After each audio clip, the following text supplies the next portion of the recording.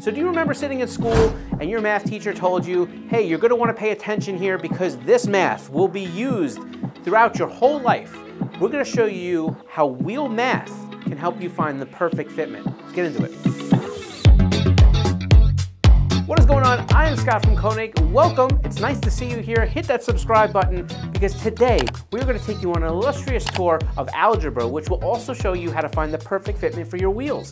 So in this video, we're going to try to make this really simple. We're going to break it down by pieces and we're going to show you exactly how to measure a wheel and then figure out the math behind it to know where your wheel is going to be located when you get a new wheel and tire package. So the first thing we're going to go through is we're going to go through understanding what the wheel size is. Then we're going to go into how to measure. Uh, we're going to then move into how to interpret those measurements in a way that allows you to know exactly what range you have on your vehicle and which way the wheel is going to move in or out. And then we're going to also tell you about the math you'll need to know to convert some of these numbers into wheel numbers. And then finally, we're going to show you why this is important and exactly where this wheel is gonna end up. So we have an example we'll show you. I want you to stay with us because this is gonna be one of those informative videos that you actually will use. All right, so kicking this thing off, let's talk about wheel sizing for a second. This is the first piece we need to address, and that is just understanding what's on your vehicle right now. So we're gonna find the diameter, we're gonna find the width, and we're gonna find the offset. Now these are the trifectas that we need to worry about to be able to maneuver a wheel left or right uh, you'll notice that we're not really talking about up and down. And that's because of something else we'll talk about later in the video, but you've heard us say it before, overall rolling diameter. That number's not really gonna change. We're gonna use that as a constant for whatever's on your vehicle now. We're just gonna get concerned with how the wheel moves in width and how that wheel moves in or out. So Let's start with the size. The easiest way you should be able to figure out what the size of your wheel is, is either turning the wheel over. Usually most companies will stamp them on the back of the wheel, including OE wheels. So it may say 16 by seven and a half, may 17 by eight, 18, eight and a half, whatever. It should be stamped there. Sometimes you'll see it in, you know, 18 by 8.5 J or P. Don't worry about that. That's your wheel size. So now that you know what you're looking with, let's take the width. The width is gonna be that eight and a half number. That means how much width the wheel is from inner bead to inner bead. Now, we've explained this in other videos, so I'm not gonna get too far into it, but for today's example, we're just comparing the width of your current wheel and tire package to the width of your new wheel and tire package. So offset is another thing that we have to be concerned with. Again, uh, there are ways to measure this. We've talked about this in other videos. You can go here and figure out exactly what offset is. Uh, Max will put a link up here and he'll take you to a video that will explain what, what offset is. But again, this is gonna be something that is usually stamped in the back of your wheel.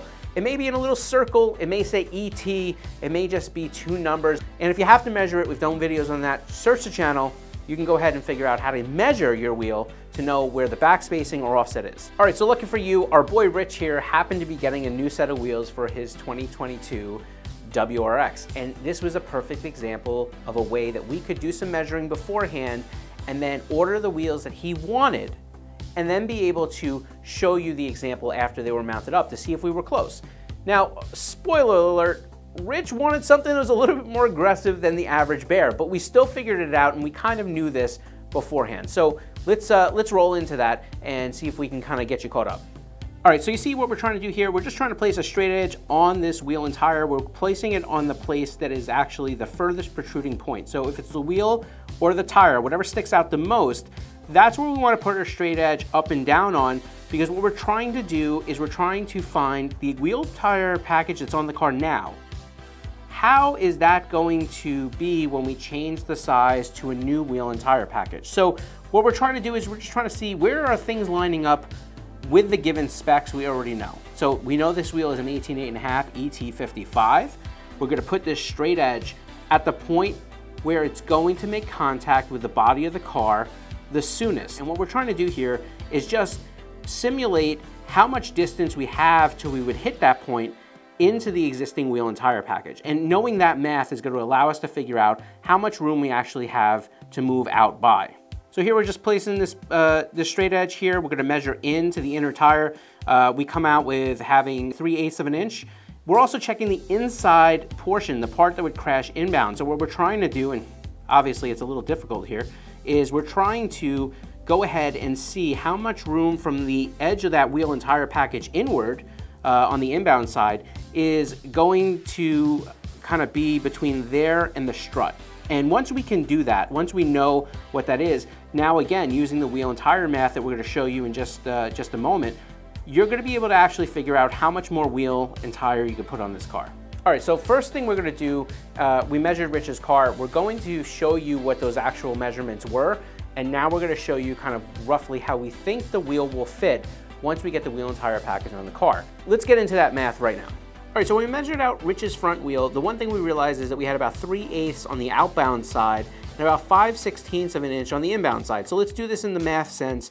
Uh, 3 eighths of an inch 3 divided by 8, you get 0.375. Multiply that by 25.4. I know what you're thinking, I'm moving a little quick, but stay with me. 25.4 is the conversion number that you will need to convert standard into metric, inches into millimeters. That's what we're looking to do. If you do that, 0.375 times 25.4, you'll get about 9.5 millimeters. So we have 9.5 millimeters on the outbound side and then we're gonna have about 5 sixteenths that we measured uh, from the back edge of the wheel to the strut at the closest point where that wheel and tire package would hit. 5 sixteenths on the inside, that's 0.3125 of an inch. We multiply that by 25.4, and that puts us right about 7.93 millimeters on the inbound side. So there's not a great deal of room to move in or out here, um, but we do have a little bit, and we're gonna use, well, we're gonna use all of it. All right, so now let's quickly recap the rear here. Uh, again, the rear is a little bit more tight because of the fact that we have this cladding that protrudes into the wheel well. So on the rear, we measure that we have about a quarter of an inch in both directions. So a quarter of an inch in toward the strut, we have about a quarter of an inch outbound that we can play with. All right, so a quarter of an inch, we all know that that's gonna be 0.25 of an inch and we're gonna multiply that by 25.4. It gives us about six and a quarter millimeters on each side of the wheel that we kind of have the range to expand on. Okay, so now we need to take these numbers and we need to interpret them and figure out exactly where the new wheel and tire package is gonna sit. All right, so judging by the fact that I have a pen tucked behind my ear, you know we mean business. We're gonna do some wheel calculations here. We're gonna use the numbers that we just received to try to figure out exactly where the wheel will sit on the car after we put our new wheel and tire package on. All right, so let's look at what we're trying to do here. Rich's wheel and tire package that came on the car is 18 by 8.5 and an ET of 55. We know on the front, we're gonna have 9.5 millimeters uh, outbound, and we're gonna be able to have uh, about seven or eight millimeters inbound. Now, we're not gonna use all of that. We don't wanna crash on the strut, and we certainly don't wanna bury this wheel into the fender. Rich really wants to put an 18 by 8.5, which is the same size, but he wants to go to an ET35. Now this is a super simple example, and we're gonna give you some other examples as we kind of get further into uh, this math. This way you can kind of really see how it will work in a variety of different situations. But in this case, Rich is going to decrease his offset by about 20 millimeters. So going to the ET35, 20 millimeters, super easy. It's almost an inch. It's about three quarters of an inch. He's gonna push it out 19 millimeters from exactly where it sits now. That's actually quite a bit. 19 millimeters, we know that we have about nine and a half safe. Let's round it up to 10 and say, take 10. So in my opinion, if we do the math here, this wheel is going to stick out about nine millimeters, right? So that's gonna put him just over a quarter of an inch uh, sticking out. So we know this is gonna be an aggressive look. Rich has argued with me additionally that he wants to go with a more aggressive tire. So expect the tire to actually feel like it sticks out more than the wheel. Uh, in addition to that, you should know that the wheel is probably gonna feel fairly squared up here, fairly uh, flush with the fender line, but the tire itself is actually gonna bubble past. So we know that that's gonna be the look on the front. And on the inbound side, we haven't done anything except decrease, so we're just gonna gain more clearance on the inbound side, so more room between the wheel and the strut. All right, so now let's look at this rear of the car. This to me is where the issue is really gonna come in. Again, Rich wants to go with 18, 8.5, ET35. Problem is gonna be is that when you go to an ET35 20 millimeters, we've already established we only have about six.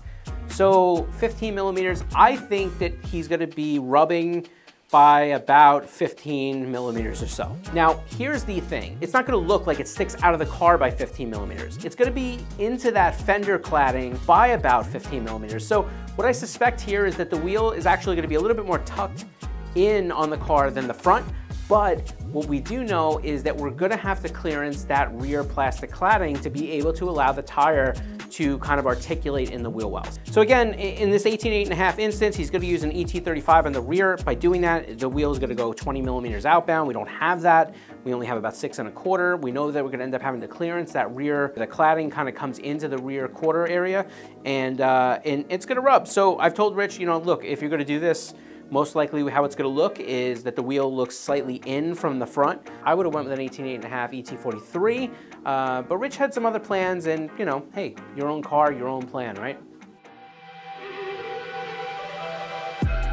Okay, so let's give you another real world example. We've measured this car before. We've been fitting these cars for a while now, Civic Type R, uh, obviously previous generation. So here you can see that the OE specs are gonna be 20 by 8.5 ET60. Uh, and our goal here is to obviously go with a more aggressive wheel. Remember that we don't have to worry about the diameter here because we're gonna make sure that we choose a tire that actually has the correct OE rolling diameter. So right here, what you see is when we do the initial measurements from the stock OE package, we're looking at uh, about an inch that will go to kind of the fender liner. That's about 25.4 millimeters.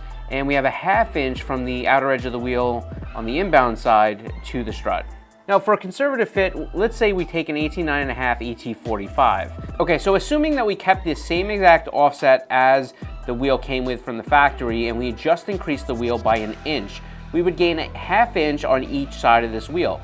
So we would be against the strut and we'd still have a half inch outbound that we can play with. But as we said before, we're gonna go ahead and lower that offset. We're gonna go to an ET45. So we're gonna gain, we're gonna push the wheel out now 15 millimeters more toward the outbound side. So if we were trying to look at our measurements initially from the OE wheel entire package, we would essentially have gained about 15 millimeters on the inbound side to the strut, and we would have pushed the wheel out about 27.7 millimeters toward the fender liner. So here's an example of what this would kind of look like. Remember, we're going more aggressive, but we're not going to the point where the wheel is actually flush with the body line. So let's now look at it if we're gonna do an 18.9.5 ET35. So essentially we're gonna get 10 more millimeters out from where we just were, but let's look at the math again from an OE wheel entire perspective. Starting from an OE wheel entire package, what we have right now is about a half inch between the strut and the wheel, and we also have about an inch from the fender liner to the outer edge of the wheel. All right, so now we're gonna get into going to something that's more aggressive. We're gonna look for that flush fitment that everybody likes. We know that we have about a half inch to the strut and we have about an inch to the fender liner. We're going to a nine and a half, that's one inch wider than the OE wheel entire package. So we're gonna initially take 12.7 millimeters more on the inbound side and gain 12.7 millimeters on the outbound side. So far we've just went wider, so we still have 12.7 millimeters of clearance on the outbound side and we're now against the strut. So let's go ahead and now do that offset change that's gonna happen. Remember, we're going from ET60 to ET35. So that 25 millimeters is gonna allow us to push that wheel out, right? So essentially what's gonna happen here is we're gonna gain 37.5 millimeters of outbound movement and we're gonna end up gaining about an inch on the side of the strut to the inner side of the wheel. Now again, this fitment is aggressive, but this is what a lot of guys are running, especially for the guys that are on track. This allows the wheel to kind of be able to get all the way out there. It gives your car a really good tight stance, but it is aggressive, and if you overtire it, you could encounter a little bit of rubbing. So keep that in mind when you're choosing your wheel and tire package if you happen to have a Civic Type R. All right, so let's give you an example to really test your skills here. Let's see if you comprehended all of this. So let's pretend that we have a race car.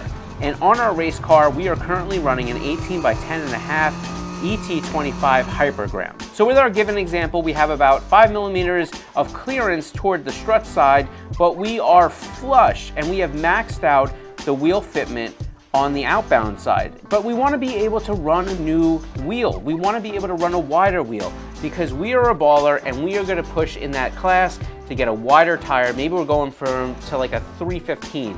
So maybe you want a Konig Heliogram in an 18 by 12 at a 20 offset. So let's do the width and offset change again, but this time for a different perspective. This time we're gonna do it because we wanna be able to run the Heliogram 18 by 12, so we need to figure this out in all directions so that we have the proper parts so that we can get this wheel and tire package to fit on the car, not have any rubbing issues, and be able to take it out and pound on it on the racetrack. All right, so let's go ahead and attack the width first. It's the easiest thing to start with.